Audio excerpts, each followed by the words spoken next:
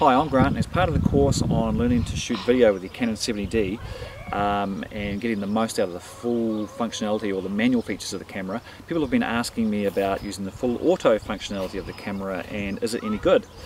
So, times that you might want to use this, for example, is like shooting family family pictures or family holiday pictures, or perhaps handing it handing the camera to someone not as experienced as yourself. Um, so what I've done to test this functionality is I've come down to my local playground and I've enrolled the help of my twin six-year-olds who's operating the camera and let's see how it goes.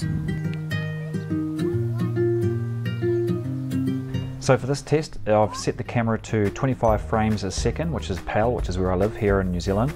I'm recording in IPB mode rather than ALL-I I have just got the normal sound on, I've got face tracking activated and I'm using the kit 18 to 135 STM lens.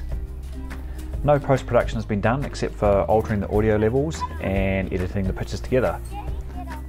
So my thoughts. You know what? It's actually pretty good. DSLRs have traditionally struggled with such things as autofocus in the past compared to camcorders, but for simple point and shoot functionality I think it does a pretty good job.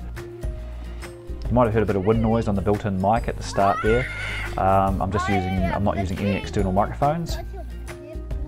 Focus-wise is always going to be probably the toughest thing for the camera and you see a little bit of autofocus hunting where it goes in and out of focus on the subject, especially when the kids are moving, which they seem to do a lot of. Kids are a tough subject. I could switch the lens to manual focus and that would solve that problem. Exposure is pretty good. White balance I think has done a pretty good job. Okay guys, marks out of 10, what would you rate that playground? 10,066. 2. I also took the camera down for my morning coffee on full auto again and this time used the touchscreen a little bit to help the autofocus. Again, it did a pretty good job. Focus probably was the biggest thing that it needed the help with.